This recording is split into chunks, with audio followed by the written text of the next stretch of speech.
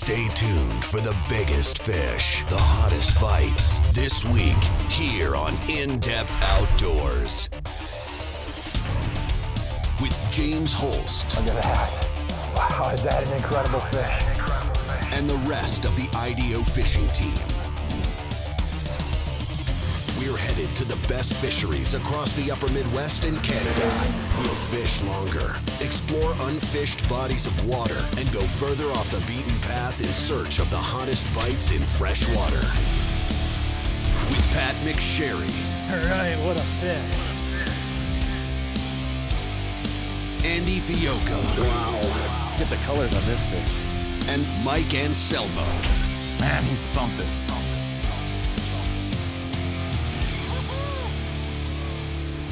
This is In Depth Outdoors.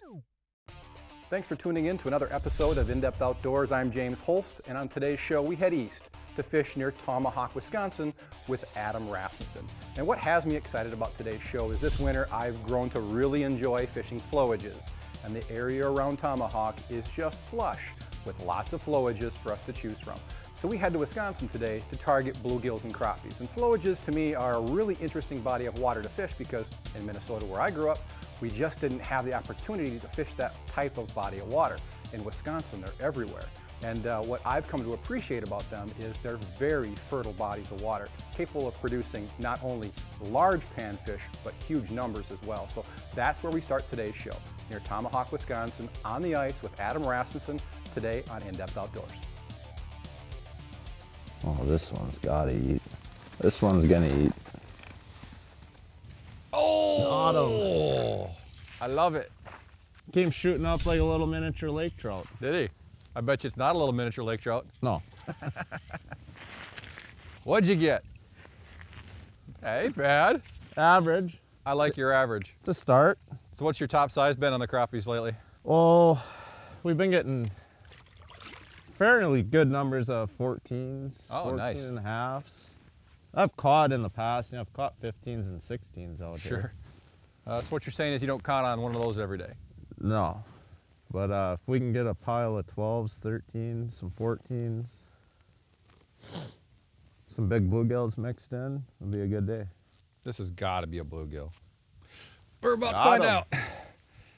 That fish, no, I think it might be a crappie. He stared at it forever before he committed.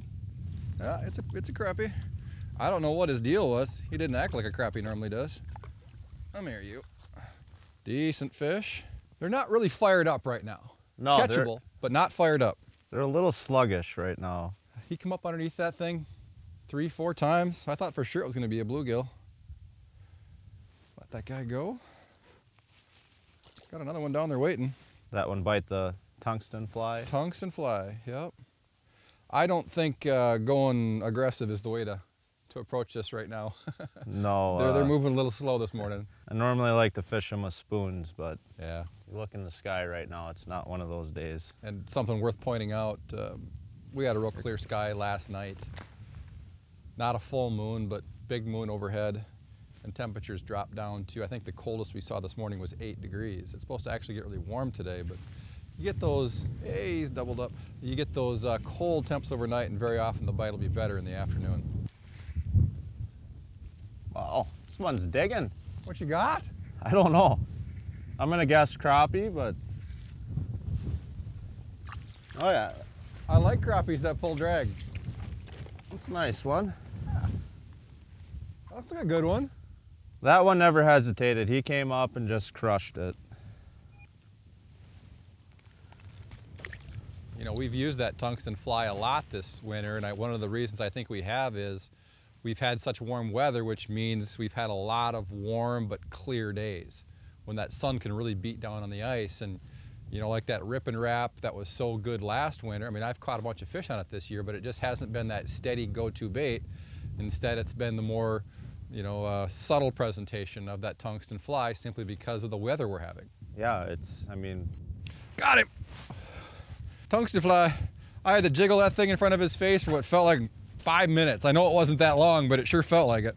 Woo, whatever works as long as you got them. Look at that one. That's a nice one. I'll take that one. High sun. That's a nice crappie. There we go. That tungsten fly is right in the beak there. And you know, this is just a real basic presentation. One of the things I think make that tungsten fly work so well is just the appearance of it. It's very buggy looking. Great crappie. I hope we catch a bunch more like that. I'll let them go. And then we are adding a little meat today. I mean, these tungsten flies at times will work without any meat on there. I'm just fishing one or maybe two of those little spikes added to it. And that's the uh, gold beadhead with brown body. Very, very natural looking bait in the water. All right, so today it's going to be a game of uh, auger work combined with just adjusting for these conditions. Um, thankfully, we've got the temps to do it.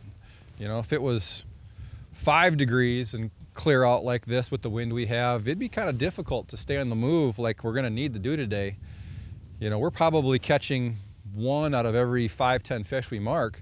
Of course, every fish we catch is a really nice fish. I mean, it'd be one thing if we were sorting through just, you know, gobs of those six to nine inch fish that on some lakes can kind of be an issue. But here on this reservoir, uh, every fish we've iced so far has been real high quality fish definitely makes it easy to put in the work to catch fish like that. Skeeter Boat Center is now a full-service Warrior Boats dealer, offering the complete line of Warrior boats, all covered by reliable Yamaha outboards. With dealerships located in Ramsey, Minnesota and Chippewa Falls, Wisconsin, Skeeter Boat Center carries more Warrior boat models in stock than any other Warrior boat dealer. No matter which Warrior model is right for you, you'll receive the same attention to detail and service after the sale that made Skeeter Boat Center the number one Skeeter dealer by volume in the Midwest. For the best selection of fiberglass fishing boats and unmatched service, stop in or visit us online at skeeterboatcenter.com.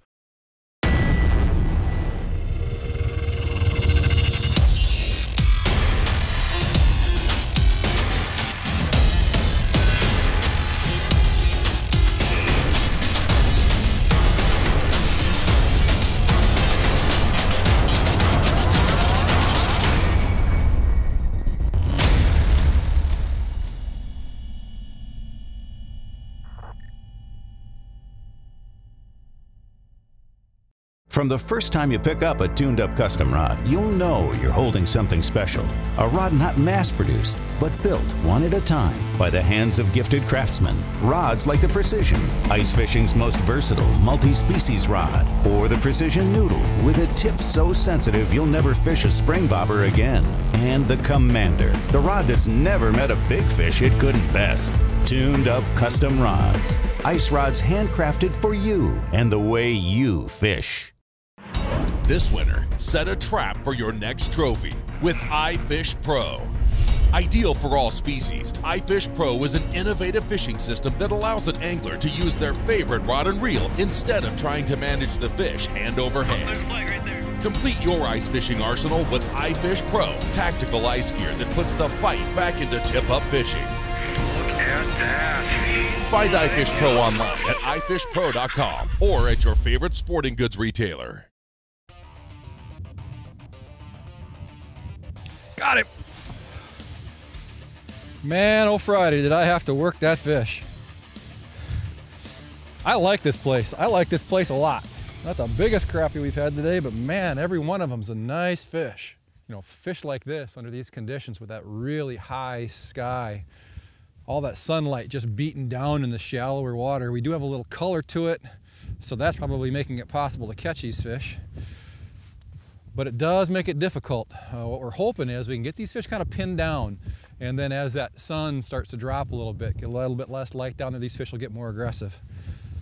Definitely worth the wait if they're gonna be like this and bigger. That's actually uh, probably one of the smaller fish I've caught here in the last couple hours. And as far as uh, on the working end here, nothing's really changed. We've got that tungsten fly. Both Adam and I have switched colors a, a little bit, but we're kind of settled in on the gold brown body, a spike or two, uh, three pound Sufix Ice Magic, and uh, we're both fishing bullwhips from tuned up custom rods with uh, a little uh, Ceymar 10. Uh, that's an Okuma reel. So that's kind of the setup today. Uh, got a lot of rods in the box, but this is kind of the one I like for, you know, perch, larger crappies. Uh, in a situation like the, we're in here today where we're kind of thinking that we're going to end up fishing some more aggressive baits later on in the day, it's nice to fish the bullwhip versus a noodle because the bullwhip will allow you to fish those Slab Raps or uh, lighter spoons where just a, a, a, plain noodle just doesn't have the tip to fish those larger baits. So it's a very versatile panfish rod. And I'm going to need some new bait. These fish right now are just eyeballing. I mean, they just come, if this is your mark on the flasher, that fish will just sit right at that same mark and cover it up. And all we're doing is just these tiny little movements with the rod tip. I don't even want to raise it up because when I do that, that fish will drop back down. And eventually, you know, more often than not, he just swims away. But eventually, some of these fish just get sick of looking at it and slurp it in. Was that one a loner or did he have friends? He was a loner. Bloop. Hey! There's one. Feels like another nice one. We only do nice ones, buddy. They're all nice. Oh yeah, that one. Another nice flowage crappie. That one was uh, definitely a little more aggressive. He came shooting right up off the bottom and never thought twice about it. So hopefully that's a sign that this afternoon it's gonna pick up here. It's about time. It's about average for today.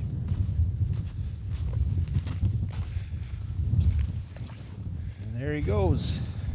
In Depth Outdoors, Spot on the Spot ID. On today's Spot on the Spot ID, we're going to take a look at flowages and how to find fish midwinter on this type of body of water. Now, before we get too deep into this, a flowage basically is a river that used to run through, um, you know, a pine forest. They put a dam on it. And then what you have is, you can see where the old channel was, but the lake swelled and grew outside, well outside the boundaries of that river channel but that river channel still represents the lifeblood of the fishery. Uh, these flowages very often, uh, midwinter, uh, the people in charge of water levels will start dropping the water level considerably in anticipation of spring runoff. And that's important because uh, these flowages will rise and fall throughout the course of a, a season 10, 15 feet. And as they start to draw down water in these flowages, because the water is so stained, there's not a lot of weed growth up shallow. That means there's not going to be a lot of oxygen. So these fish will really hunker down in those channels, that old river channel. They're looking for depth and they're looking for some float to provide food and oxygen. So what I'm gonna do now is I'm gonna turn on uh, some shading so we can really see that old river channel and the type of area that Adam and I were looking at fishing today. Oh, and before I go any further, this what I'm showing here is an area that was similar to the area that Adam and I fished today. There's a lot of pressure in these areas. It just wouldn't be fair for me to go and point to a map and say this is where we fished. Uh, Adam would never be able to get back to that spot again, but what you can trust is the type of spot I'm showing you is very similar to the one we fished. So I'm gonna turn on some depth shading here. I'm gonna zoom in a little bit, get us where we need to be. Turn on that shading, 14 to 16 feet. That's the depth that we were really focused on today. And what you notice right away is Here's one of those old channel arms where that creek used to run. It's all 14 to 16 feet. Uh, it's got kind of a basin, very flat across the bottom of it, not a lot of holes in it. And what we were doing today is basically punching series of holes across the bottom of that old creek channel. And uh, we would bounce from side to side and we would find these fish primarily where you had sharper break lines. Now if you look on this side of the creek channel, you can see the lines are spaced real tightly together, they're packed together. That indicates a real sharp break down to the bottom of this creek channel. Over here, those lines are farther apart, more of a flat. That type of area produced very few fish for us. So it's so quick and easy when you get a unit like this Garmin, turn on that depth shading, take a look at one of these creek arms, and where a guy needs to fish becomes immediately apparent. And uh, we found almost all of our fish where you had those sharper break lines associated with a small turn in the creek channel. So the next time you find yourself looking to fish a flowage, keep these ideas in mind. It'll help you put some fish on the ice. Marcum's new pocket-sized handheld underwater cameras, the Recon 5 and 5 Plus, use a 5-inch color display to deliver superior screen detail and employ a combination of dark water LED and infrared lighting to punch through the darkness. The Recon 5 Plus adds a built-in DVR and on-screen display for critical information, previously only available on full-sized underwater viewing systems. This winter, see what you've been missing with a Recon from Marcum Technologies, the undisputed leader in underwater cameras. Everything you'd expect from a premium quality fish house and so much more. Glacier combines superior craftsmanship and premium quality materials to produce a comfortable and enjoyable mobile base camp for your next outdoor adventure. Available in a variety of models, a Glacier Ice House offers more standard features, more usable space, and a better fit and finish than the competition. Visit our website at glaciericehouse.com to find a dealer near you and see why a Glacier Fish House is the ultimate way to play. At Aluma, we're in it for the long haul. That's why we make the longest lasting, most rugged trailers on the road. Flatbeds, bike haulers, tilt trailers, and enclosed. If you have a lot to move, we've got your way to move it. Our lightweight aluminum trailers will handle even your heaviest loads. At Aluma, we are right behind you with an industry leading five year warranty. Because every trip and every load is valued. Skeeter Boat Center is now a full service Warrior Boats dealer, offering the complete line of Warrior boats, all covered by reliable Yamaha outboards. With dealerships located in Ramsey, Minnesota and Chippewa Falls, Wisconsin, Skeeter Boat Center carries more Warrior boat models in stock than any other Warrior boat dealer. No matter which Warrior model is right for you, you'll receive the same attention to detail and service after the sale that made Skeeter Boat Center the number one Skeeter dealer by volume in the Midwest. For the best selection of fiberglass fishing boats and unmatched service, stop in or visit us online at skeeterboatcenter.com. So this channel actually runs pretty straight, doesn't it? All the way out to the snowmobiles, and then at some point it must take a hard turn to the right before it gets to the islands, or does it go past the islands then turn right? Just goes, you can kind of see that sandbar sticking out because the water's down right now. Right at that point, then it bends and then it goes for another couple miles. So when you're punching out these channel edges here, do you find that uh, any place you get kind of a turn in it? If you can get any kind of little jog or, uh, you know, lately they've been on spots where you have a little steeper break line. Gotcha. And they sit right on those edges. Yeah, because I mean, this is not a narrow channel or wide channel. I mean, it's pretty narrow. Yeah. Four or five holes wide, and the depths have been very consistent. Holes on this side are 13 feet, the ones in the middle are 16, and then up on that side it's 14. Yep. Got him. Feels like another pretty good one. Oh, look at this. Nice. We're slabbing it up. Right in the beak again. I mean, they must just be just literally nibbling. yeah. But when you hook a crappie there, he isn't going anywhere. Man, I'll take crappies like that all day long. You know, I always figure anytime you get on the plus side of 12 inches with a crappie, that's a good fish. And my guess is he's out there towards that uh, 12 and a half, 13 inch mark. So good quality fish, very thick, healthy. And we're catching them in shallow water, which I love because, um, you know, when it comes to eating crappies, I'd rather keep the 9 to 10 inchers. Fish like this, I'd much rather let go. Back in the hole with you. All right. I actually had three fish eyeball on this tungsten fly. Very often it'll take uh, that competition between those uh, crappies. When you've got one on your screen, those fish can be really hard to catch under conditions like that. You add that second or third crappie, and the next thing you know, one of them will come up really aggressively to grab that bait. All right, I'm gonna leave that single spike on there, fishing a white spike on that uh, 32nd ounce tungsten fly. Here's one. There you got it. How you dog? Starting to get a little flurry now. Yeah? I'm seeing them, you know, four or five on the graph at a time, which is a good sign. I haven't seen five yet. I look forward to. Not quite as big as the rest of them, but still a, a solid fish. Yeah, we can't complain about the size of the fish today. No, absolutely not. I mean, they're all they're all nice. You set the hook, it's a good fish. I'm really excited now that I'm seeing them school up like they have been, you know, in the mornings and the evenings when you get multiple fish, and then they'll start competing against each other too, and uh, it makes it easier to catch them, and you can catch them a lot faster. Let that guy go and see if we can get a few more here. Yeah, I want to see a couple aggressive uh, rushes up towards the jig, and then I'm going to switch over to something a little bit more aggressive, I think. I think it's going to happen pretty quick here. There he is. Feels like a pretty decent fish. That there was me just holding the uh, the bait almost motionless. Little tiny little jiggles. Man, these are nice fish on average. There's just not a lot of places, you know, in Minnesota, Wisconsin anymore where You can find big crappies like these, and every one that we've hooked up with today has been a dandy. That fish is thick.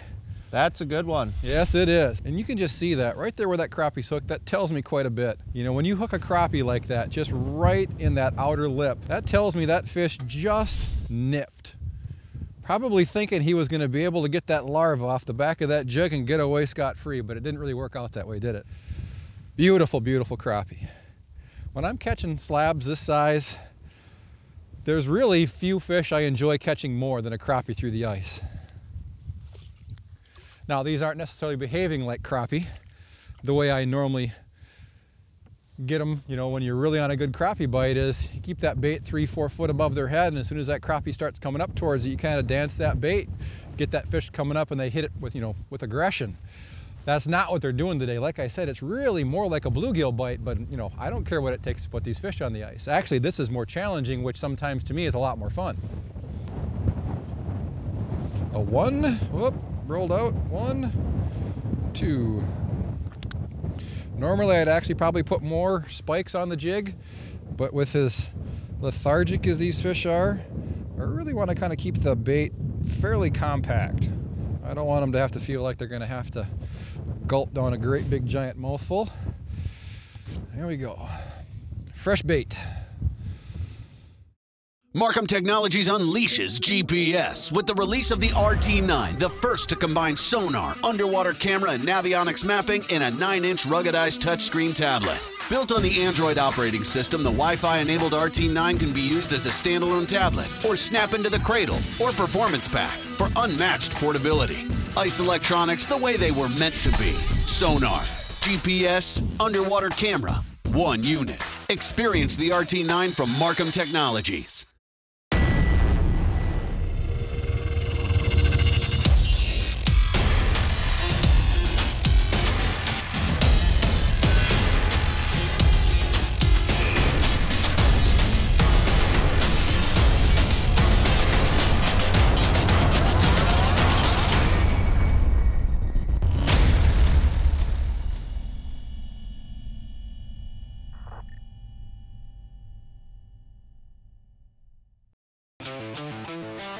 Lithium laser and lithium chipper from StrikeMaster deliver power on demand with the push of a button and an industry leading 50 volt lithium ion battery. Reach for the lithium laser if you need unmatched hole punching speed, or opt for the lithium chipper if you need the durability of chipper blades for opening old holes or drilling in dirty ice.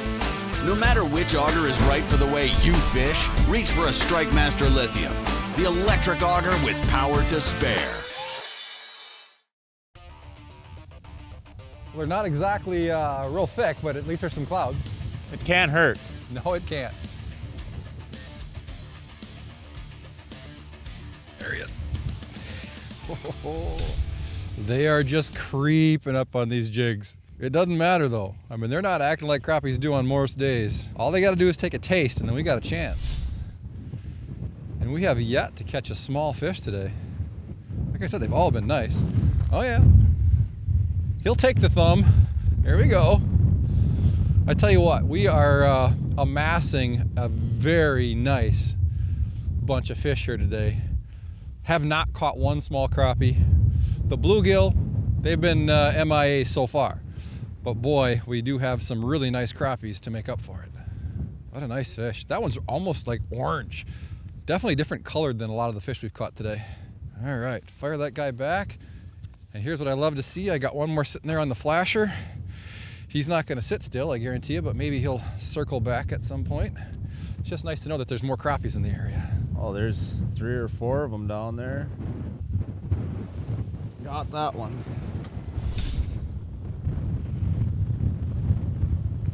Well, that's another nice one. Still on the deal with the tungsten fly, but now we finally got some cloud cover moving in. We're getting later in the afternoon, and this is the first time in a while I've seen multiple fish stack up. When they get real active on these flowages, you'll see three, four, five of them at a crack come on your screen, and uh, usually you can clean up in a hurry on them. So I see there's a couple more down there. Let's get this guy back and see if we can get another one. Oh, there he is. Got him. Ooh, He doesn't feel huge, but he's doing his best over here. Oh, look at this guy. We waited all day for one of those pumpkin seed. Beautiful fish. This is the right time of day to catch a pumpkin seed. You got that uh, light getting low. Just a beautiful fish. Not a giant by any means, but very welcome indeed. All right, fish. See you later. I like those things. They're Cool fun. looking. Yeah. They're usually really, really aggressive, and he act. You know, he was. I thought it was going to be a smaller crappie. Huh. I should have known better because we haven't caught any of those today.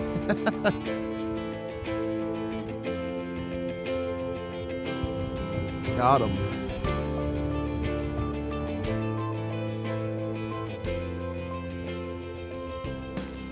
Feel real big. Another nice one though, not bad. That's getting down a little closer to a eating size fish if we were gonna keep any. Here again, we're getting closer to evening now and you're starting to see them really stack up. You're marking multiple fish, so looking forward to getting uh, a better bite going this afternoon here. All right, well, we'll let this guy go. There's a bunch more down there waiting for me, so this is the time of day when you wanna you wanna move as fast on these fish as you can when they're schooled up like this. Don't know if I'm gonna get down there fast enough though.